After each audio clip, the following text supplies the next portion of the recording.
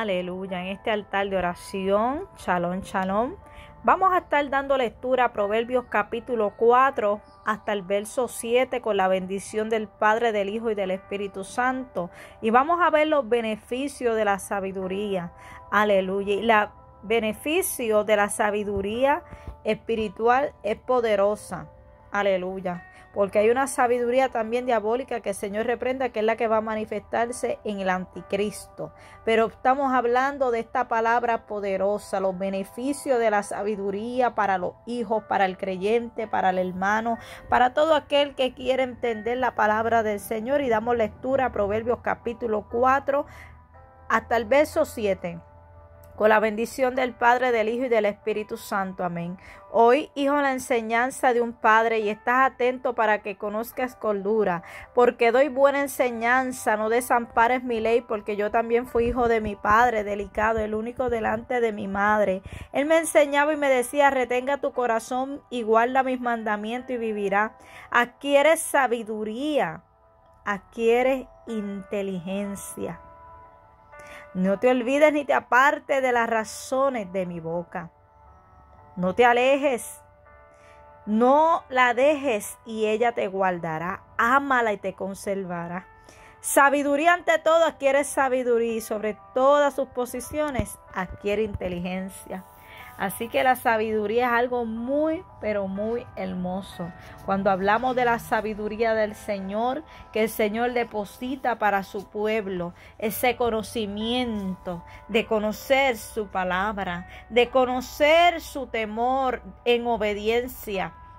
No que le temamos porque le tengamos miedo, sino una reverencia como lo que Él es. Él es rey de reyes, Él es soberano, Él es grande, aleluya. Por eso esta enseñanza es tan hermosa.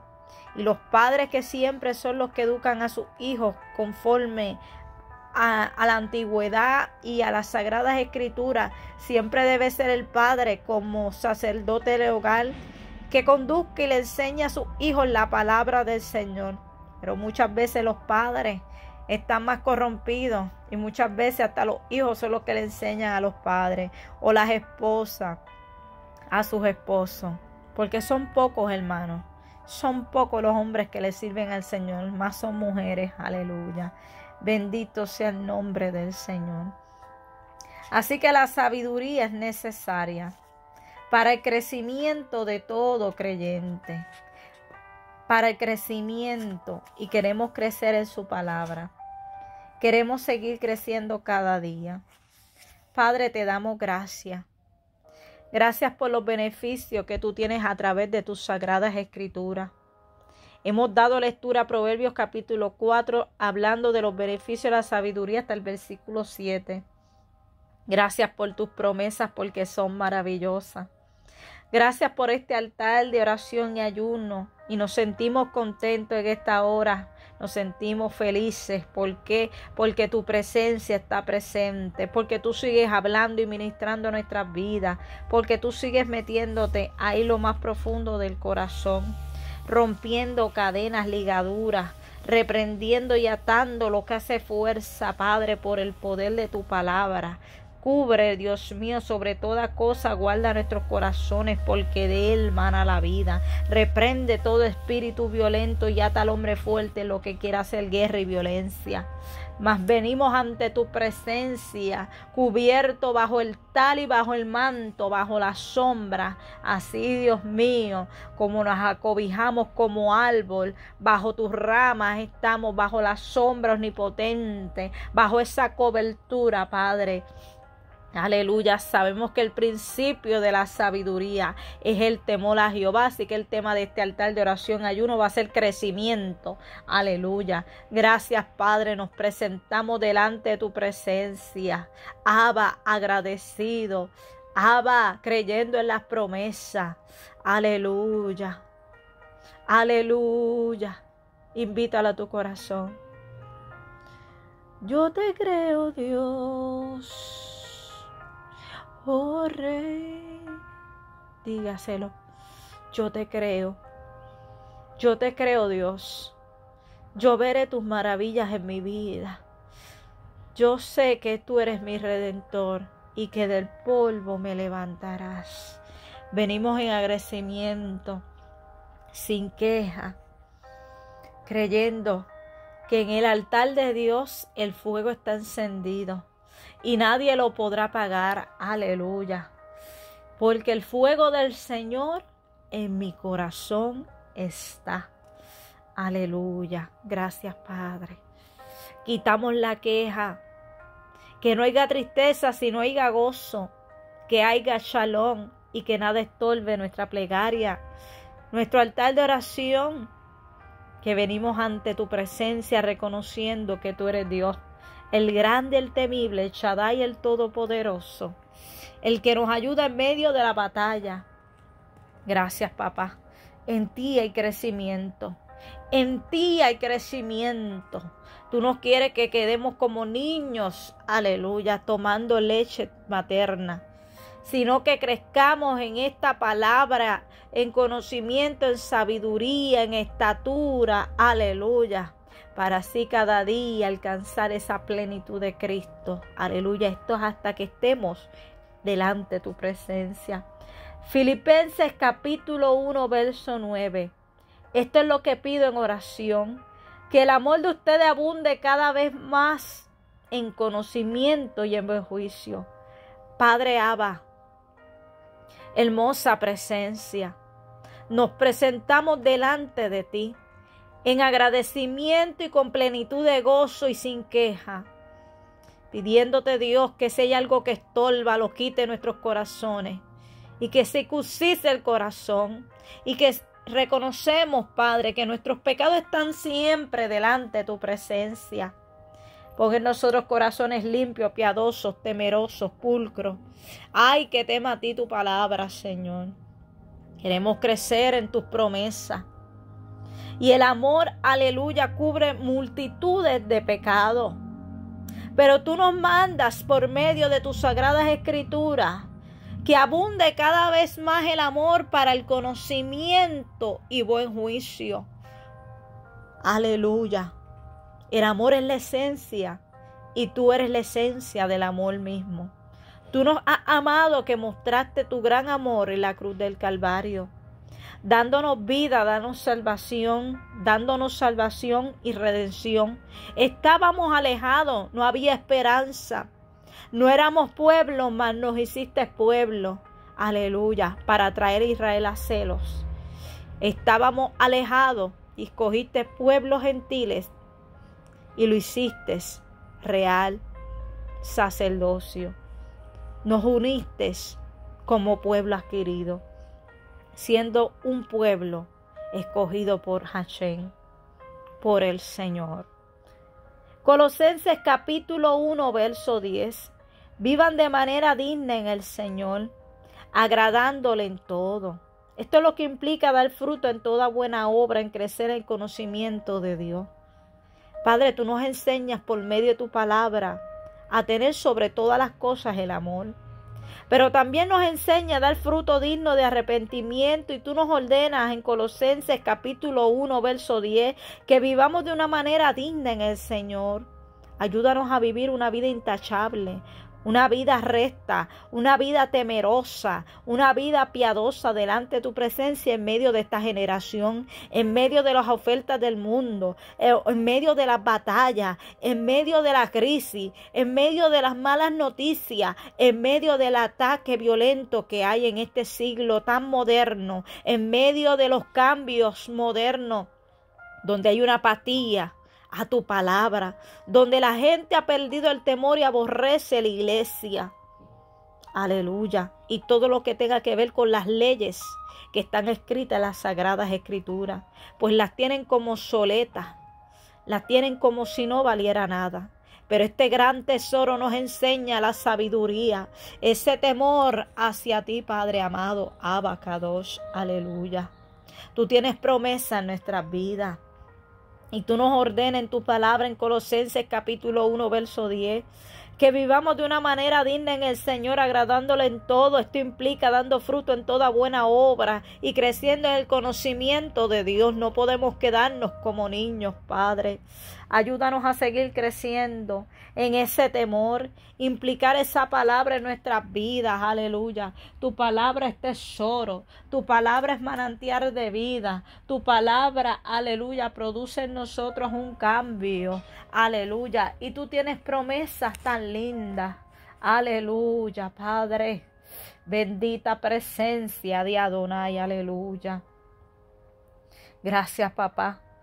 Ayúdanos a seguir avanzando y creciendo. Primera de Tesalonicenses capítulo 4 verso 1. Por lo demás, hermanos, le pidamos encarecidamente en el nombre del Señor Jesús que sigan progresando en el modo de vivir, en el modo de vivir que agrada a Dios, tal como lo aprendieron de nosotros. De hecho, ya lo están practicando. Ayúdanos, Padre. Nuestros antepasados nos dieron ejemplo de vivir una vida en rectitud, una vida en temor, una vida piadosa a tu palabra. De hecho, desde que llegó el Espíritu Santo a nuestras vidas, ha habido un cambio de arrepentimiento. Y segunda de Pedro capítulo 1 versos 5 y 6 nos manda esforzarnos. Esfuércense por añadir a su fe virtud y a su virtud entendimiento, entendimiento, dominio propio, el dominio propio constancia, la constancia devoción a Dios. Padre, que nuestra fe esté sólida, que usted deposite en nosotros virtud y entendimiento en toda buena obra. Que tú impartas sobre nosotros dominio propio y esa constancia y esa devoción en ti, Dios para estar firme, para tener firmeza. Segunda de Pedro capítulo 3 verso 18, tú nos ordenas a que crezcamos en la gracia. Crezcan en la gracia y el conocimiento de nuestro Señor y Salvador Jesucristo. A Él sea la gloria, ahora y para siempre. Amén. Padre, tú nos has ordenado en tu palabra vivir en rectitud. Y primera Timoteo capítulo 4 verso 15, sean diligentes en estos asuntos. Entréguense en lleno, de modo que todos puedan ver que están progresando. Padre, ayúdanos a ser revestidos, llenos de la presencia del Señor. Imparte sabiduría sobre cada uno de nosotros.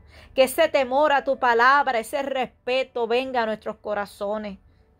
Segunda de Corintios capítulo 3 verso 18. Nosotros que con el rostro descubierto reflejamos como un espejo la gloria del Señor, somos transformados a su semejanza con más gloria por acción del Señor, que es el Espíritu. Gracias, Padre. Gracias, Señor. Gracias, Señor, porque tú nos has santificado y somos creación, somos la gloria tuya, Señor. Proverbios capítulo 4, verso 18. La senda de los justos se asemeja a los primeros alborares de la aurora, y su esplendor va en aumento hasta que el día alcance en plenitud. Padre, la senda del justo es camino de bien, es camino de rectitud. Y Jeremías decía, parado por los caminos y pregunta por la senda antigua. Ayúdanos a preguntar por esa senda. Si nos hemos desviado, si nos hemos descuidado, si nos hemos salido de redil, ayúdanos a volver a ese redil. Donde está el pastor de pastores. Yahweh, pastor de pastores. Segunda de Tesalonicenses, capítulo 1, verso 3. Hermanos, siempre debemos dar gracias a Dios por ustedes, como es justo porque su fe se acrecienta cada vez más en cada uno de ustedes y sigue abundando hacia los otros. Gracias, Padre. Gracias, Dios mío. Gracias por tu palabra. Gracias porque tú tienes promesa. Gracias porque tus promesas son en ti, sí, amén. Gracias por las puertas que tú sigues abriendo y las que cierras porque no convienen. Gracias aún por las cosas y los eventos que estamos viendo mundialmente, porque nos está tocando la puerta del corazón y estremeciendo, diciéndonos, Señor, estoy a la puerta. Yo llamo y yo toco a las naciones para que se humillen delante de mí. Gracias, Padre, por este altar. Porque este pequeño rato que hemos sacado para clamar delante de tu presencia, buscando los beneficios y el crecimiento que todo creyente necesitamos día tras día a través de tus sagradas escrituras, la santa y bendita palabra. Tu palabra es la lámpara, Dios mío. Revístenos del poder de tu presencia, de la cabeza a los pies y reprende todo espíritu violento, Señor, lo que hace fuerza y todo ataque para paralizar y para detener, Señor. Mas el burlador está en tus manos, Señor, y le espera su día si no se arrepiente. Mas aquel que practica lo malo, si no se arrepiente, le espera su día. Mas tú no quieres que nadie se pierda, sino que el hombre proceda al arrepentimiento. Por cuanto tú eres un Dios que te, que te revela hombre y ministra el corazón de los hombres. Aleluya. Y eres poderoso para quitar esos corazones de piedra. Trae crecimiento en nuestras vidas. Que abunde la palabra de Dios como un tesoro, Padre. Mira este canal y las almas que se siguen suscribiendo. Mira las necesidades de cada uno. Tú conoces de qué estamos faltos, Padre. Conceda a Jehová las peticiones de nosotros conforme a tu voluntad. Trae crecimiento. Aleluya. Dale fuerza a la vida, a la alma. Bendice a cada persona. Aleluya. En este canal que ellos puedan ver Dios mío, recibir algo de ti, Padre. Que tu palabra fluya con poder. Que la presencia del Espíritu Santo desciende y se manifieste en sus vidas y arrope el corazón. Tú eres Dios grande y temible. Tú haces cosas que son imposibles para nosotros, pues eres Dios grande y poderoso. Nada hay imposible para ti, aleluya. Nada se asemeja a tu grandeza. Abashanda, soja. Hay poder en la sangre de Cristo. Preciosa sangre que nos ha limpiado, que nos ha redimido, que nos ha cubierto. Gracias, Padre. Dios es espíritu y los que le adoran deben hacerlo de modo verdadero, conforme el Espíritu de Dios, como dice Juan 4:24, en el Espíritu, en Espíritu y en verdad. Aleluya. Dios le bendiga, Dios le guarde. Esto es un poquito de altar de oración. Que el Señor conceda tus peticiones que puedas ver las puertas abiertas, que la mano de Hachén sea tu vida y que el Señor responda, aleluya. Bendita presencia, bendita presencia, aleluya. Él es el que nos levanta, Él es el que nos redime, aleluya. Bendita presencia, aleluya. Aleluya. Bendita presencia. Hay poder en Jesús preciosa sangre. Que esa gloriosa santidad esté en nuestras vidas. Que podamos vivir conforme a la palabra en rectitud. Aleluya. Gracias, papá. Da fuerza al cansado. Aleluya. Gloria a Dios. Hay poder en Jesús. Qué lindo, qué lindo es el Señor. Redímenos, papá. Aleluya. Aleluya. Tu presencia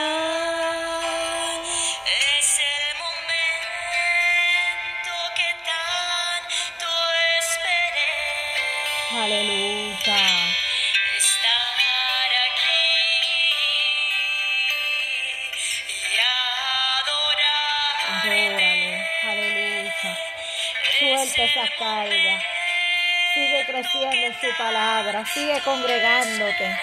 Sigue congregándote junto con tus hermanos. Deleítate en la presencia del amado.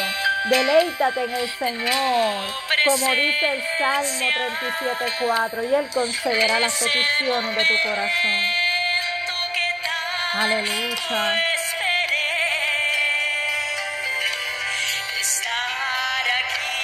Vive Dios. Vive Dios.